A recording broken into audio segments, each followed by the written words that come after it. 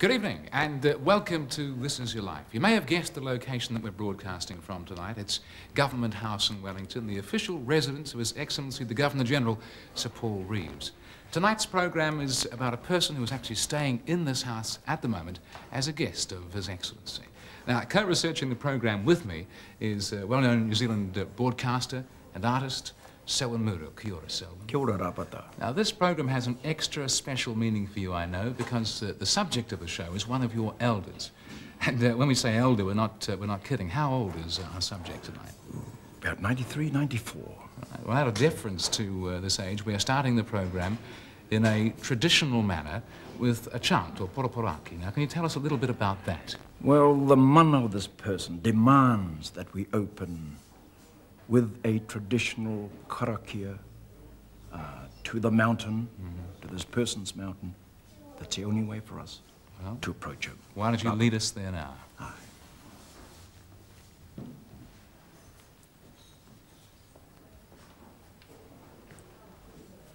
Kia hiwara, kia hiwara.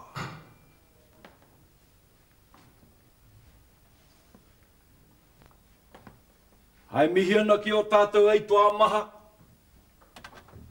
Ai mihi ana hoki. Kia tātou ki te hunga ora. Ara me pēni te kōrero. Hare mai koe i pania nei tō rai. I te hinu tāwa ko tātou mātua tūpuna. Hare mai koe i hoka koikoingia nei koe. E o mātua tūpuna hei hāpai o rātou toki hōro, toki nunu i e koe. Nō rira hare mai, hare mai, hare mai. Hare mai, ko koe no te ao kohatu. Ko koe no te ao kohatu e kui, ko tauhena le mā, ko te poea. Ko tāpira nangata. Ko pōmare. Ko Ko ari pita mama, nore re kui hare mai, rā, hare mai, hare mai. Nau rā tēnei pō e kui, nau tēnei pō. Nā reira, i tua kei, tō mōkai, ki te mihi atu kia koe. Ā, ki tō tātou, tō tātou rangatira, te ariki e, e tūnei. Nō reira, haere mai, haere mai.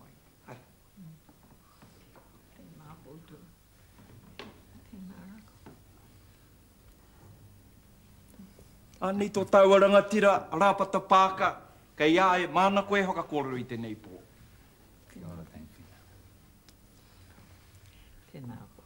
Dame Whina, we have a little ceremony associated with a television program that I'd like to ask you to perform for us this evening. It's one of our traditions. I wonder if I could ask you to read for us, please, what it says on the cover of the book. This is your life, Dame Whina Cooper. Oh. Dame Whina, tonight we have a very special program to celebrate your unique life. I'd like you to ah. join us in the grand ballroom of Government House for that show. I'm greatly honored. Look, I don't know what to say. oh.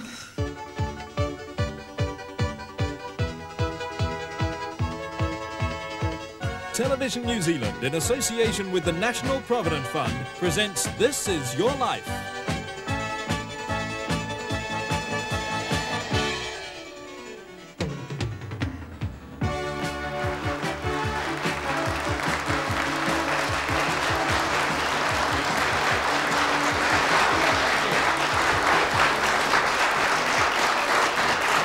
Oh, thank you very much indeed.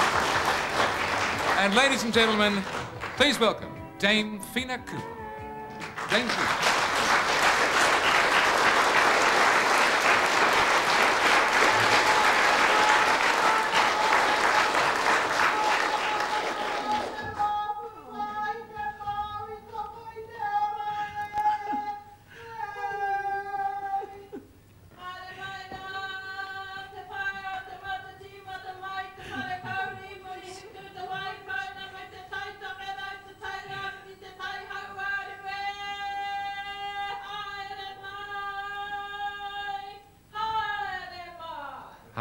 Dame Whina. A special welcome to you and a special welcome also to your mokopuna, Eddie Kawiti. You know, those of you who know Dame Whina, and there are many of you here tonight, know that there is a special relationship between Dame Whina and Eddie. For how many years? Since 1975, Eddie, you've been Dame Whina's special minder, I guess. How did this come to be, Dame Whina? First of all, I must say this is a surprise. what is it all about? Oh, I see. Look, I've just, I must, I've got to tell you, ladies and gentlemen, I have been severely admonished prior to entering this room after the surprise by Dame Whina, because this is the last thing that she would ask for herself. This is the last thing that she would ask for herself. But tonight, we would like to take it upon ourselves, somewhat uh, cheekily, I guess, to give you uh, what we think is uh, this honour. yes, but oh, even the Governor General didn't tell me. Eddie, perhaps uh, you could seat uh, Dame Whina over here. Well- actually. Here we are. Here's the seat. I Eddie, I'm going to- answer you Yes. about him. Well, let's take a seat. There we are. You tell. His uh, grandmother, when I was sick at Four Macalaka Road, Panmure, and his mother, uh, grandmother came along while I was sick on, in bed. And he, she said, I come to, to bring our mokopuna to look after you. And I look at her and I look at this boy. How is he going to wash my clothes? You know. But however, she kept, kept begging me to have this boy. And I said, all right then. So ever since, he's been looking after me. He's such a good boy, one out of a million. Aye, well, I think, uh, I think everybody what I here agrees. One out of a million, but the stick comes in handy occasionally. Eddie, I, I'd like to ask you if I could take responsibility, if that's the word, for Dame Whina for the next 45 minutes, and you may relax over here. Ladies and gentlemen, Eddie Kawiti. Thank you, Eddie. Let's speak over here.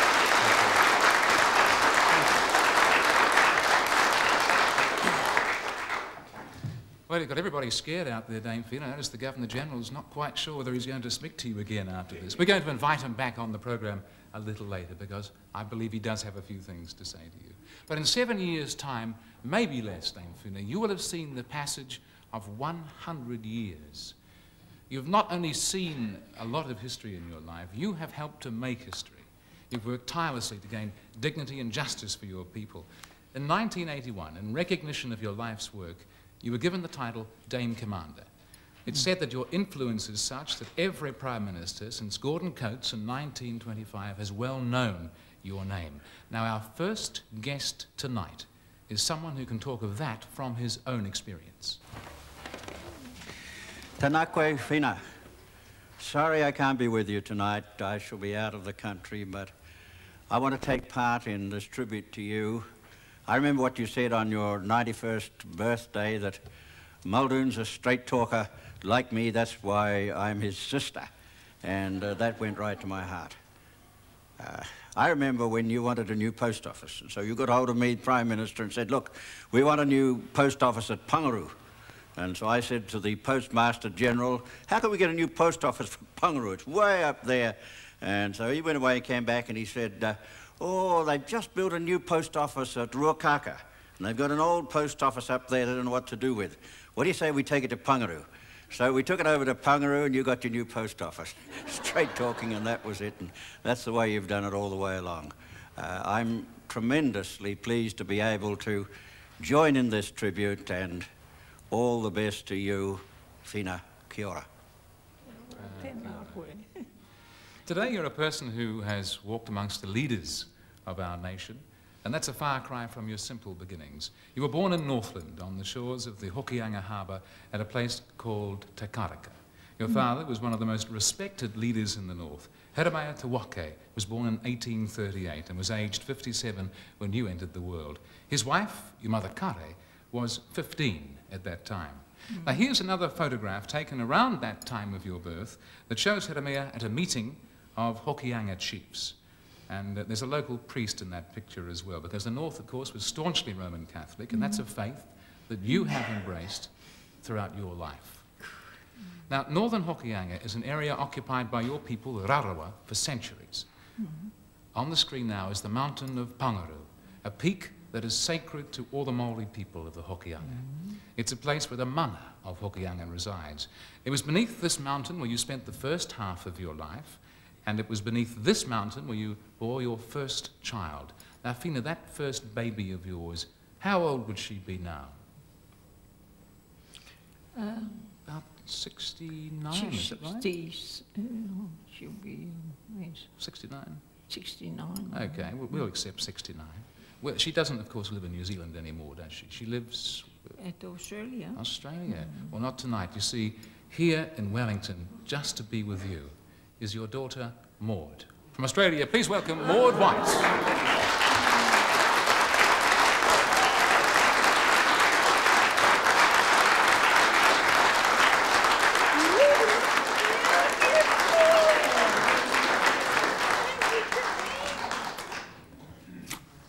Ona hea koe te mi. No te manene.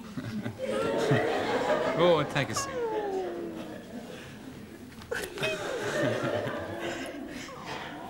Going back to the, the very early days of uh, Whina's marriage, uh, Maud, I guess you weren't really aware of what went on in those first days in the Nikau Whare, where your mother and uh, your father were living, but you must have heard stories of those early times. Remind Whina of one of those. Mum, do you remember you have told us quite a number of times, not just me, but others too, about the flour, the bag of flour we had in our old nikau house Yes. at the oh, Karaka Aye. and the Uh, pig. the lit- we had a little wee pig, pig, you know, and I didn't know that the pig can go through the, the wall of a nikau house because we never lived in a nikau house before. and we went out, I said, oh, we go and come digging to find out how the old people used to find gum. So we went out, and when we came back, these flowers, oh, the, the, the pig got in and Spread started, yeah, there was a bag of flour. We had a 50 bag of flour there. We're not very well off then, you know. And um, so I gathered all those, uh, it was a sandy place, and I gathered all of them. and I cooked, cooked, cooked that, uh, baked that for our bread for tea. And I said to the children, to these little children, now on, we try and eat it. I can remember, I can remember chewing it with the cracking in, you know, the, But it gives a whole new meaning to the word wholemeal bread, doesn't it? I mean, well, that's a marvellous story. And, uh, well, Maud, I think uh, Whina shared it for you with all of us. But I want to thank you for travelling from Australia to join uh, Mum tonight on the programme. In later years, in later years, uh, Dame Whina, both uh, your first husband, Richard Gilbert, and your second born, that was Maud's brother Gerard, passed away. And you remarried in the 1930s to Wiremu Cooper, and you added another four children to your family. And of course, they are here to join you tonight as well. Please welcome Nopera, Mere, Hine, and Joseph. Why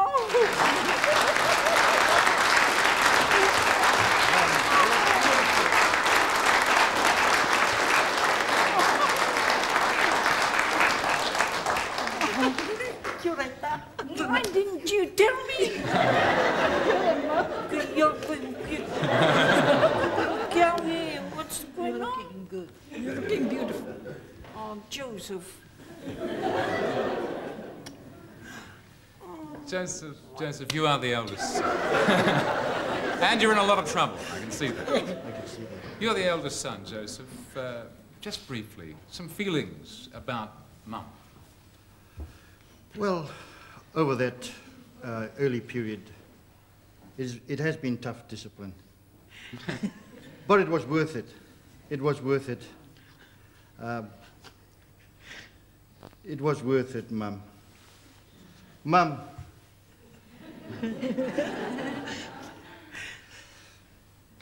you have cast a very wide political net.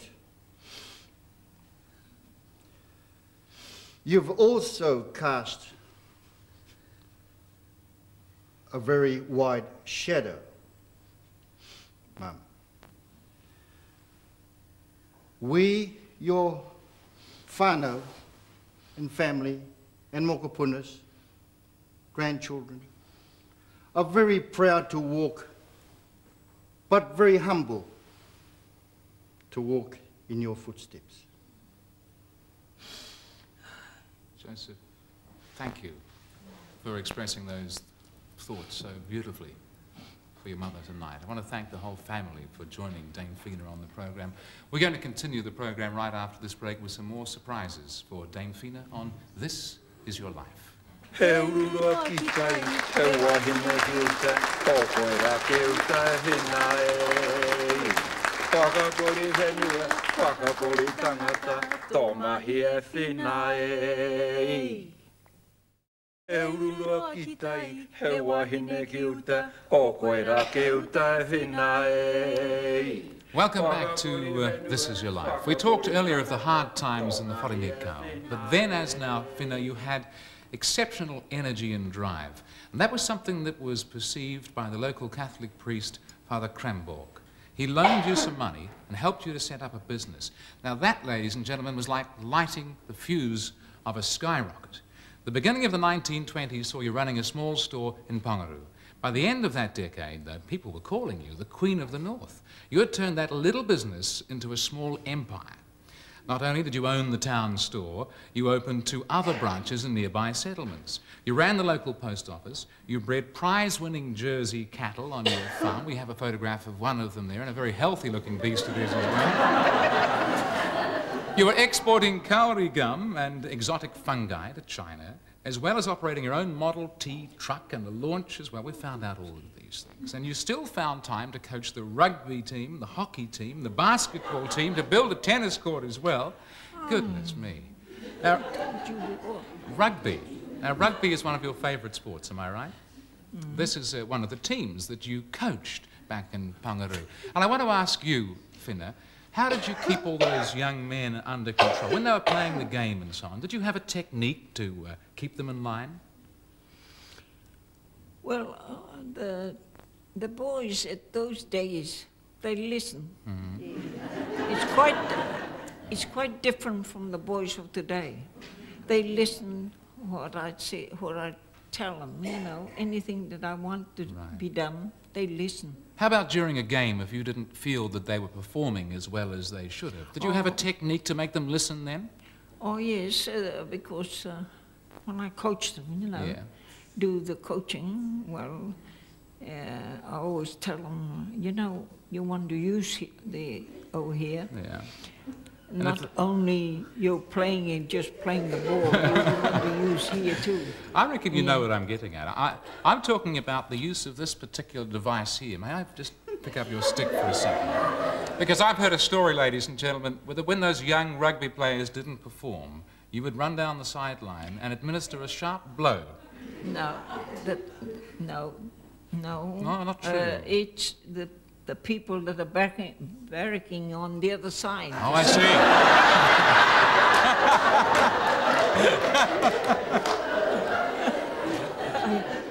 well, I'm, I'm, I'm really glad that we've got that straightened out, you know. Yeah. You may, there's a certain incentive for, the, for the audience to enjoy the, uh, the team that uh, you were coaching, of course. You made history by becoming the world's first female president of a rugby union branch. I guess everyone here can now see that by the end of the 1920s, if you wanted something done in northern Hokianga, this was the person that you came to see. You became involved in many special projects, and through them, you met a great Maori leader who was a very special friend of yours. E kui e, e whina, tēnā koe e noho mai na i taupoko o tei. Nui ro atu taku pōuri, kaore tae au te haere atu ki tēnei hui whakanui i a koe. Ki hei au tuku atu e o rapa ke haere atu. Aha koa te tino hia hia nea no oku ki o tai atu i tēnā hui. Nō reira ngā mihi nui rau atu ki a koe, ka whakanui nei e te motu i roto i te pōka whakata. You know, Fina, I uh, first got to know you uh, well over 50 years ago And uh, at that time was the opening of, if you remember, the second uh, house built by Maori Affairs Department in the hold of Northland at Waiho. That was a tremendous hui. We had uh, Sir Apirana Ngata there and Mr. Frank Langstone, the new uh, Minister of Maori Affairs. And I remember very well uh, the kind of submissions that you made uh, that day, which brought a lot of laughter to many of us who were listening in. And you were in top form as a young uh, woman and stating the case for more houses in your area of Panguru. You know, Whina, I admired you that uh, particular day for the manner in which you stated your case and also the Wairea station, which was handed back to the owners recently. Even in those days, you were fighting government to hand that station back to the owners. And since then, you have gone from strength to strength. You have stood on marias and Taipawero and harangued the people. I've got to say this, Whina, uh, that as far as you were concerned uh, in those days, and you haven't changed at all, uh, in fact, if anything, I think you've uh, gone uh, from uh, strength to the peak of your fighting capabilities as a real warrior woman. But as far as you were concerned, uh, the means or the end justified the means, Whina. And you've got to be one of the greatest actresses this country has ever produced, I think. In fact, if it was today, you would be regarded as a superstar. You had the happy knack and the art of extracting from ministers, from politicians, from governments, just whatever you wanted. Whina, I wonder if you still got those corks around your knee. I remember that conference in Wellington at the hotel when people asked you as to why you had corks around your knee. Oh, she said, it's simple. You see, if I was out at sea and the boat went down, I'd be able to float, and the rest of you will go down with the boat. That's why I have corks round my knees. And of course, then you said they were there because of your rheumatism and arthritis. No reira rai whina. Ngā mihi nui ki a koe, e, e whakanui nei e te motu katoa. Ko koe rā te whae o te motu. Ko koe te tupu no te motu.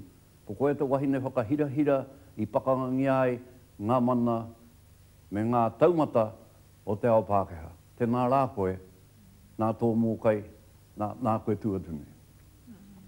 Sir James Henry, ladies and gentlemen.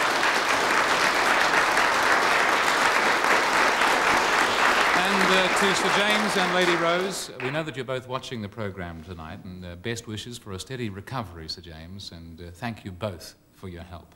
Mm. Whina, throughout the 30s and the 40s, your stature with the leading figures of the day, both Māori and Pākehā, grew. But in your personal life, there was tragedy. You had already lost your first husband and your eldest son. Now the person you loved above all, your second husband, William Cooper, passed away. Perhaps it was to leave behind some sad memories, and certainly because you were ready to face new challenges that in 1951 you decided to move to Auckland. Later that year, a conference in Wellington elected you Dominion President of the newly formed Maori Women's Welfare League. From those times, Whina, comes this voice.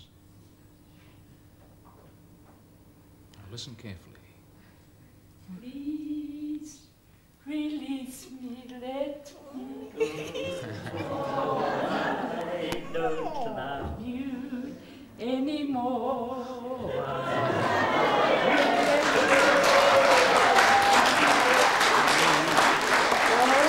Release me, my darling, let me go.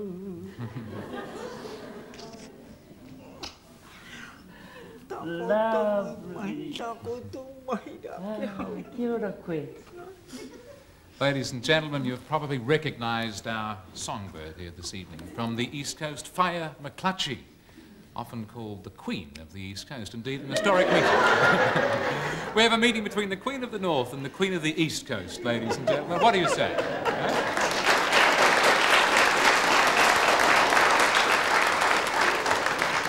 Perhaps, perhaps I even should have said your great rival from uh, the East Coast. Fire, you're one of the foundation members involved in the Māori Women's Welfare League. What did Whina do for the league? Oh, Whina's a great woman. She's the untouchable. She formed the Maori Welfare League, registered the Welfare League ladies, constitution, and brought us together. And this is Whina, a wonderful woman. And now we are still carrying out the Maori Welfare League. Te rōpū wāhine toko i te ora, tātou, tātou. And so you have this great woman, Whina, and at all conference, she would move this stick if you're out of order. Ai, no reira, tēnā koe, tēnā koe, tēnei hui, nui, mōhou, ka mihi o ki o tāua. Uh, to our Pāhea friends who had made this possible, and this no doubt would be history. Kia. No reira, Whina. Tēnā- There's so much more to say. As uh, Sir Henare spoke about you, so true. You know, I hope the world of women will carry on. Yeah. Just so like would what- I. I'm hoping. Yes, we'll have to carry that out. Thank you, So, Thank you very much indeed.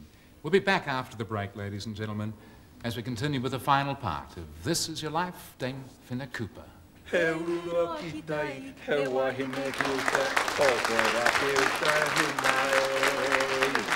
He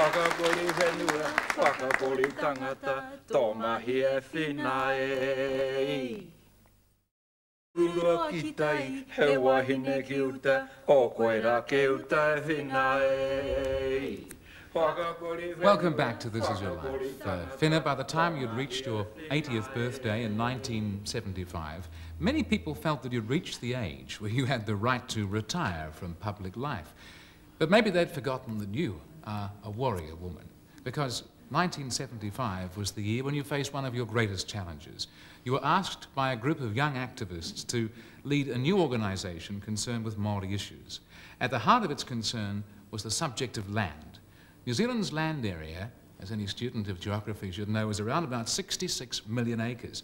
Now, in the mid 60s, only about 5 million acres of that land remained in Maori hands. Ten years later, it was less than half of that. Now, it was your belief that if that trend continued, the Maori would become landless and as a result lose traditional values. Well, from all of this came the Maori Land March. Joining you now is a person who observed very closely that extraordinary event. Then a journalist, now a community worker in Taranaki. Please welcome Vivian Hutchinson.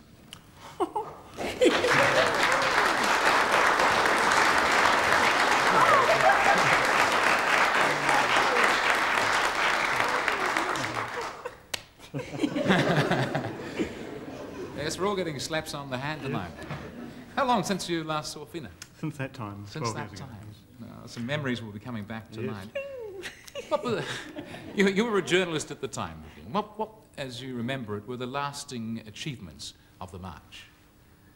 Well, um, looking back, we can now see that it was the beginning of a whole renaissance of, of Maori views and awareness in this, in this country. Uh, what started as 40 people grew very quickly to something like 40,000 people. and uh, Whina, of course, was the symbol of that struggle, and um, she was like the feather on the head of that march. Um, as a Pākehā at that time, I realised it was also the beginning of a whole uh, reawakening of Pākehā awareness of the, of the struggle that she'd been doing for, at that time, nearly 80 years. Um, she dominated the headlines of that, this country for nearly a month. And um, I suppose New Zealanders, as a people, had uh, to look straight in the face of a race, and this woman in particular. And um, those questions, those issues started to come up again, and still with us today. Well, you walked the entire length of, of the march. You uh, observed uh, Whina closely. You got to know her. What would you say uh, is her greatest strength? Well, she's the finest political orator I think I've ever heard in Maori and in English.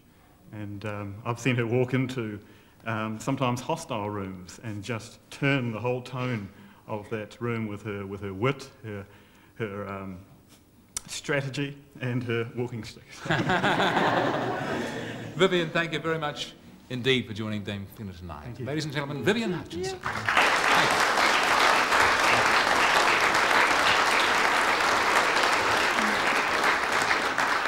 The land march set out from Te Hapua in the far north, bound for the capital.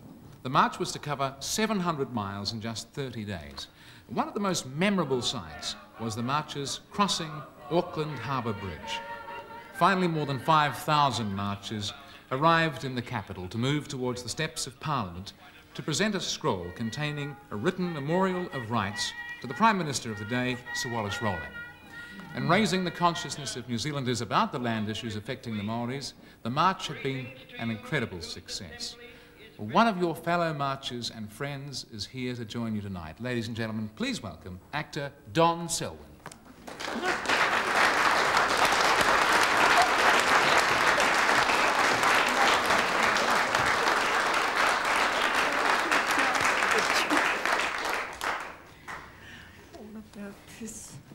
Keep the point.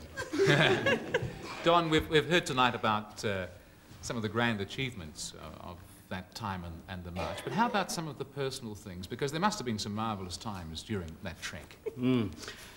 I'm probably here to represent uh, all those naughty boys who don't listen today. Um, uh, but uh, what, I, what really intrigued me about that uh, march was a wonderful love relationship between uh, Hone Tūwhare, the poet, and, uh, and Whina. Um, and for that reason, I've actually, uh, has asked me to bring along this poem that he's written about you in his latest book. There were several things about that uh, march that were very humorous. Um, it was a tapu march. We weren't allowed to drink. Yeah. we ate a lot of Pākehā lollies. and, uh, but, uh, and wherever we went, we left a koha. And uh, one of the, uh, the uh, memorable things about that koha was that we went to one of the maraes and Tūwhare was a very clean gentleman, did his washing every night. Next day when we left, he left his underpants on the fence. And uh, you can imagine this child on a horse riding along trying to catch the marchers with the underpants. And when Whina saw it, she said, well, that's Tūwhare's koha to the mara. there are there are a couple of little anecdotes in this wonderful poem that Tūwhare has written called Rainmaker's Song for Whina, which I'd like to share with everybody. And, uh, but she had this great ability to sort of make sure that everybody listened. Um, she didn't need the stick either. But uh, it goes something like this. So you listen now. This is a sacred march.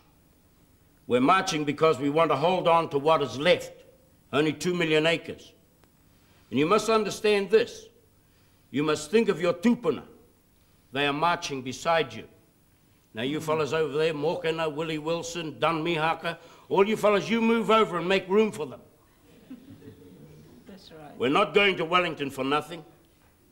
And don't be mistaken. Kāre tēnei hikoi oku. E hikoi no ahara nei ki te mirimiri i ngā paora o te rauring. he finishes the poem. E kui, what a way to bring the house down. You could not have lobbed a sweeter grenade. I'm all eared into you, baby. Kia ora tonu koe. And that I think you can give with her uh, a life uh, catalogue there, oh, Bob, at the end, from Hone Tūwhare. Thank kia ora, kia ora. E honori nui ki te tuati uh, i mui a koe, uh, Thank you. Ah. Don Selwyn, ladies and gentlemen. Thank you.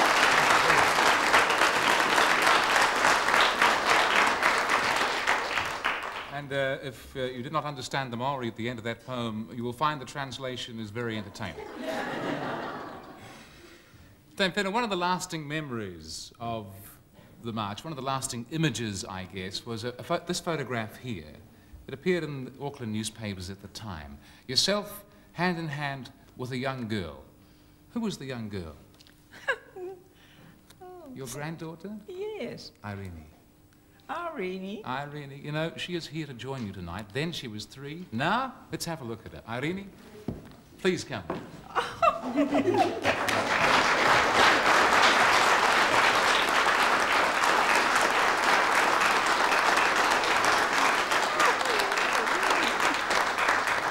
Sit down, dear. Irene, you represent uh, the generation of the grandchildren. Uh, what does Dame Whina mean to the grandchildren? You talk, dear. I'm very proud to be here tonight and with you. And on behalf of all your grandchildren, we hope we can follow in your footsteps. Thank you, dear. Thank you, Irene. Irene Cooper. You can only reach the top with two. You know the right and the wrong, and which is the best of the two. That is the right way. You can reach the top. Irene Cooper, ladies and gentlemen.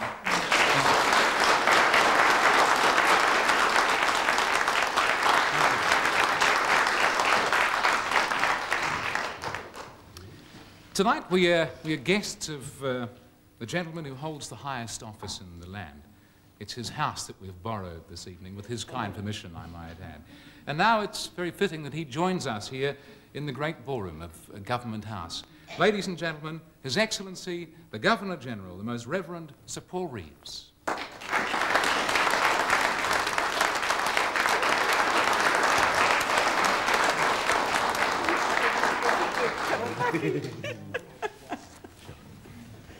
Well, Sir Paul, I- I'm going to say thank you very much indeed for uh, helping get Dame uh, Whina here in Wellington tonight. I'm not sure how you're going to come off at the end of this. Well, uh, she's already told me off once, and I think it'll happen again before the night's out. Yeah. Of course, there was a time when uh, you arrived somewhere under, well, not exactly false pretenses, but certainly a misunderstanding. Well, last December, I was down in the Antarctic, and I jumped on an aeroplane in McMurdo Base, and I flew from the ice to Christchurch. I got on another aeroplane, I flew straight to Kaitaia. I got in a motor car and came down towards Panguru, and I had to stop halfway because my ADC felt he wanted to be sick. uh, and I got down to Panguru, and it was late at night. I thought I was coming to, uh, to open the, uh, the hall at the school, but it was really your birthday. And I didn't get there in time, and you had these pigs, and you were turning them on the fire. Yeah. And I didn't make it, so I made it tonight. Eh? You did it. Sure. Look at this. Sir Paul, Why can didn't ask, you tell me this secret? Oh, yeah. Um, can I ask you just to share briefly your thoughts about this woman with us? I think Whina is a precious example of Maori values, Maori thought, a Maori person of great worth, and she expresses what many of us would want to be. And allied with that, she is a marvelous woman, and I think those are wonderful things that she offers us. Mm. Mm. Thank you. Thank you very much indeed, Sir Paul. Thank you. Whina, at 93, you've left a legacy of leadership and hard work for generations to follow. Tonight, we've met the generation that followed immediately after you. Let's ask your daughter Maud just to join you one more time. Maud, can you come over here and sit next to Whina? Maud White, ladies and gentlemen, the daughter.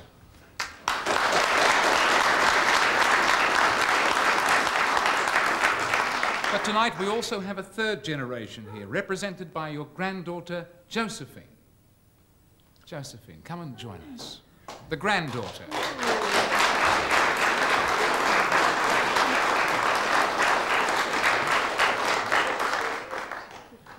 And now let's meet a representative of the fourth generation. Whina, your great granddaughter, Caroline. She is here with her mum, Lucia. Come on, Caroline.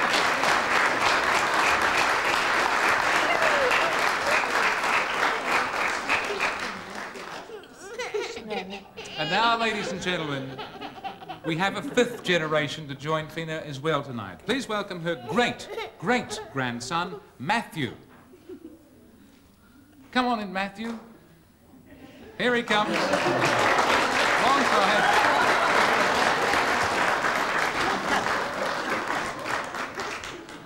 And ladies and gentlemen, even more special, there is a sixth generation.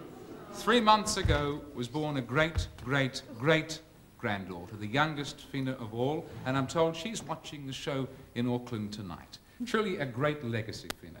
Now on my jacket tonight, I'm wearing three small baskets. Now these little baskets, you're wearing a set as well.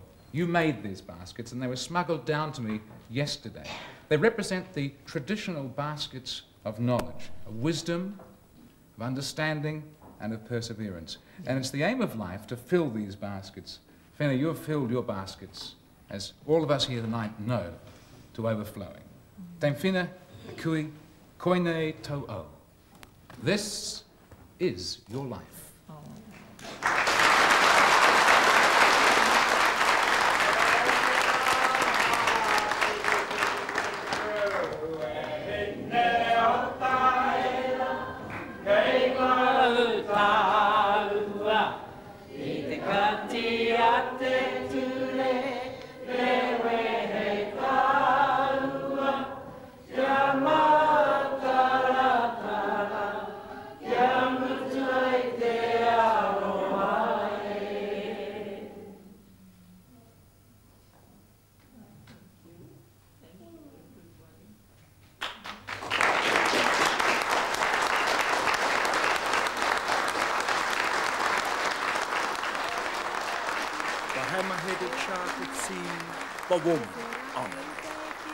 It is you on the land, Whina. Earth shaker, man shaker. You're good at that, Whina.